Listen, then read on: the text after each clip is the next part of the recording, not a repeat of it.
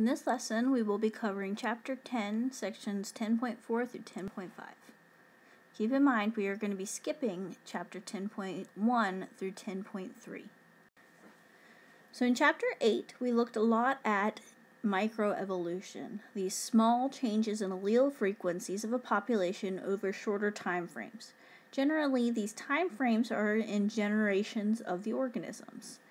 In this chapter, we're going to be focusing more on macroevolution, which is the buildup of small changes over longer time frames. These longer time frames can be years or even hundreds of thousands of years, millions of years. Keep in mind, the Earth is very old 4.6 billion years old. Living things have been around for 3.8 billion years. This means that there are very long time scales for us to work with when talking about macroevolution. The process of macroevolution leads to brand new species. This is where we get our diversity of life. So, macroevolution produces biodiversity. These are just the different types of living organisms that we see around the globe. Biodiversity is huge. There are 1.8 million species named and identified so far on Earth. It's estimated there that there are as many as 10 million living organisms out there.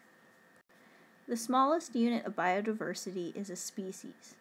A species is a group of organisms that have a specific set of characteristics. Generally, these organisms are also able to interbreed.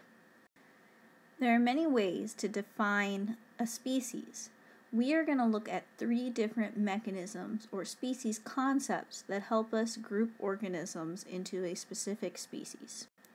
The first species concept is the morphological species concept.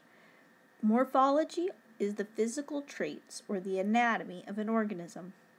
So, the morphological species concept uses morphology, these structures, to group organisms. Morphological species concept often compares bones, muscles, skin coverings like hair feathers or scales. We can compare teeth, bird beaks and bills, or any other physical trait. Basically, this concept states that if two organisms look alike, then they are the same species. This species concept has some problems. There are some organisms of the same species that look very different. A good example of that are dogs. Dogs come in many shapes and sizes, from a Chihuahua to a Great Dane. However, these animals are all still the same species. We can also see drastic variations in some types of insects. These butterflies, seen at the bottom, have two color morphs. To the untrained eye, you might think that these are two separate species. However, they're the same species. They're able to interbreed. They have many similar structures, but their color patterns are different based on environmental conditions. Another species concept compares the DNA structure of organisms. This is a newer field and still has a lot of questions to be answered. For example, how different does the DNA have to be before we categorize these organisms as two separate species? DNA evidence is often used to help support morphological species concept and the next species concept, the biological species concept. The biological species concept focuses on reproduction of organisms. This concept states that if two organisms are the same species, they are able to reproduce and have viable, fertile offspring. Viability has to do with the offspring's ability to survive in its environment. Fertility has to do with the offspring's ability to reproduce when it reaches sexual maturity. There are two key features of the biological species concept. The first one is these populations have to be able to actually interbreed or possibly interbreed. And the second idea is that we're looking at natural populations, ones found out in nature on their own, not in places like zoos or laboratories. The biological species concept focuses on reproductive barriers. These are isolation mechanisms. Reproductive barriers prevent successful reproduction in organisms. There are two types of reproductive barriers that we can investigate prezygotic barriers, ones that occur before the formation of the zygote during fertilization, and post-zygotic bar- barriers, which occur after the formation of the zygote. We're going to look at several types of both pre-zygotic and post-zygotic barriers. The first pre-zygotic barrier we're going to look at is habitat isolation. So, are these organisms found in the same place? An interesting example are jaguars and leopards. These big cats both look fairly similar. They're spotted, they live in jungles, and have a very similar behavior. However, these animals are not found on the same continent, let alone in the same area. This means that natural populations of jaguars and leopards will never meet, and therefore these animals are two separate species because they will never reproduce together.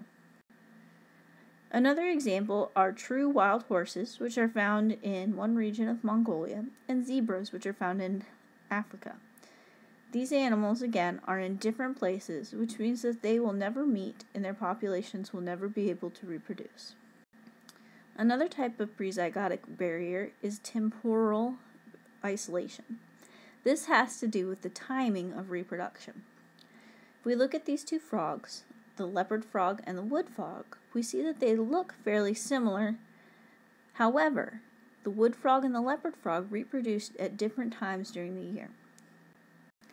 Third type of prezygotic barrier is behavioral isolation. Do the behaviors of these organisms match? One interesting example is courtship displays that we see in birds. Birds are notorious for their dances. And if they do not have the correct dance, then they will not be able to reproduce with the female. Eh, one example are the blue footed boobies found in the Galapagos Islands. These birds start their dance by showing off their bright blue feet. If the female is interested, she will stick around. The male will then start to posture, flipping his wings forward and pointing his head and tail at the sky. If the female likes what she sees, she'll start to dance as well, showing off her feet and then posturing back to the male. Many different seabirds have dances that they use as courtship. If this dance does not match exactly what the female is looking for, she will ignore you and you will not get to reproduce. There are many examples of behavioral isolation. Co- uh, courtship is just one. We also see gift giving, fighting, and songs common in the animal kingdom. Mechanical isolation has to do with the reproductive parts. Do the parts match? If not, these animals will not be able to reproduce. Reptiles are notorious for having uniquely shaped reproductive equipment. In this case, if the reptiles don't have the same shaped reproductive equipment, so male penis doesn't match the female vagina, those animals cannot reproduce. Another interesting example are in dragonflies. Dragonflies have claspers on the end of their tails. The males must clasp the female behind the neck to be able to form a loop of love for when they reproduce. If the male clasper does not match the shape of the female's head, he cannot grab hold of her, and they cannot make their little loop so that reproduction will not occur. This is another example of mechanical isolation where parts must match for reproduction to occur. Another type of prezygotic barrier is gametic isolation. In this one, we have to look at the egg and sperm cells. Can they fuse in order to form the zygote? There are many different types of protein receptors and chemicals found on the cell membranes of both egg cells and sperm cells. If these receptors don't match, the sperm cell will be rejected and it will not be able to fuse with the egg cell, which means that reproduction will not occur. After fertilization occurs, there are three types of post-zygotic barriers that can still occur. One is zygote viability. So, do the zygotes survive till birth, and can they survive in their environment afterwards? We can also look at hybrid sterility. So, can these offspring reproduce themselves? A hybrid is often formed whenever we have two species mixing together. This hybrid offspring may be sterile or ina- unable to make babies. A good example of this are mules. If you mate a horse and a donkey, you get a mule. Mules are generally sterile and unable to reproduce. The same is true of zebra horse hybrids. These animals are viable, they can survive, but they are sterile and unable to reproduce. We can also look at the F2 generation, so grandkids. Can the second generation of hybrids survive, and are they sterile? To be able to truly be one species, these animals or organisms have to continue to reproduce for many, many, many generations, not just one or two. So, a good example of this is occasionally you find a mule who can breed, but their children cannot. So, the second generation or the grandchildren of the horse and donkey are sterile. An interesting example of this hybrid situation is when lions and tigers are bred together. So, we can look at several types of reproductive barriers that can occur between these two groups. The first one has to do with habitats of the lions and tigers. Generally, in nature, these animals are not found together, and therefore their populations will not breed or mix together. Okay. In zoos, in zoos, we do sometimes see ligers being born whenever lions and tigers are housed in the same enclosure. However, these ligers are hybrids that are sterile. The biological species concept has some problems as well. This concept does not work well if organisms reproduce asexually or make clones of themselves. For this species concept to work, we have to have a reproductive event between two individuals, male and female. Is occur. This species concept also has problems when trying to apply it to fossils. It's very difficult to tell if two fossil skeletons have ever reproduced together. So, when looking at fossils and asexually reproducing organisms, scientists have to rely on other species concepts, generally the morphological species concept, to help them group and classify organisms. So now we've defined a species and figured out how to separate them out based on different species concepts. The next step is actually categorizing these species. So we need an organizational system. Classification in general is the idea of grouping objects based on their similarities. Taxonomy is the science of grouping and naming living organisms. There's a whole branch of biology based on this. It's important that we classify organisms because it helps us figure out and represent relationships between organisms. It also helps make things easier to find and identify when we're studying them. Organization and classification can also help us understand evolutionary histories. There are about 1.8 million species that have already been named. There are about 10 million species actually out there, we may never know exactly how many there are because many are becoming extinct before they're counted and described. However, with this 1.8 million species, it's very important that we classify them or group them together so that we can better understand them and so that it's a more manageable pile of organisms to sort through. Our current classification system has eight levels. We start with domains, the largest categories, which include thousands of types of organisms. Domains can be broken down into kingdoms, which are smaller groupings still containing large groups of organisms. Kingdoms are broken down into phylum. Phyla are broken down into classes. Classes broken down into orders. Orders broken down into families. Families broken down into genuses. And genuses are broken down into specific species. So you guys should come up with a mnemonic to help you remember the order of these eight levels. Here's an example. Dutch kings play cards on flat green stools. This little saying uses the first letter of all of the taxa and comes up with a silly saying to help you remember the order. So domain, kingdom, phylum, class, order, family, genus, species. So here's another view of this overall system. We have three domains of life, which are the largest categories. Each domain, such as domain, domain Eukarya, are broken down into different kingdoms. In this case, we're looking at kingdom Plantae, because this is a plant. The plants are broken down into phyla, such as phyla Anthophyta, and then the phyla are broken down into classes, like monocotyledons. And we can break those classes down into orders, orders into families, families into genus, and genus into species. Here's another example classifying our own species. Humans are in the domain Eukarya because we have eukaryotic cells. We're in the kingdom Animalia because we are animals. The phylum Chordata because we have a spinal cord. Class Mammalia because humans have mammary glands. Order Primates, which are mammals that have two mammary glands. Family Hominidae, which means we are bipedal, walking on two legs. Humans are in the genus Homo and the species Homo sapiens.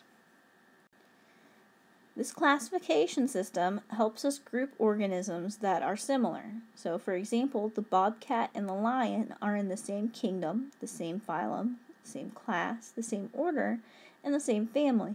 It's not until the genus that we start to see differentiation. So, bobcats are in the genus Lynx, the species Lynxus rufus, and lions are in the genus Panthera, and their species is Panthera leo. We can compare that to something like a mushroom, and we see that right away there is a different category or a different kingdom for this group of organisms.